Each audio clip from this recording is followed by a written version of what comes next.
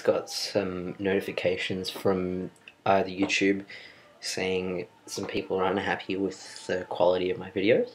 Um, look, I'm you know I'm here to please please my YouTube fans, obviously. Uh, so I thought I'd just uh, I've got this great new phone. It's great great phone.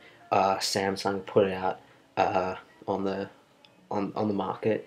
Uh, it's called the, the Galaxy S, and I just thought you know it's got a video function uh, capture function, and I'd use it it to capture this video uh, in, instead of the the laptop. So I'm hopefully this will get you guys the better the better picture you need to, to keep enjoying my videos, keep keep commenting, keep keep keep liking, keep thumbs upping the videos. Um, if anyone if anyone likes the videos, you should uh, you should probably uh, post on the internet uh, forum.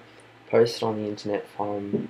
Uh, www uh, no uh, http uh, colon uh, two forward slashes uh, conqueror worm dot dot net.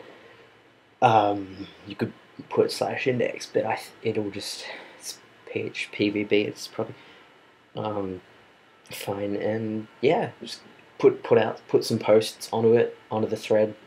Um, it's got a great great community there, great atmosphere. Uh, it's just the kind of place you can chat on the yeah on the web. So good luck.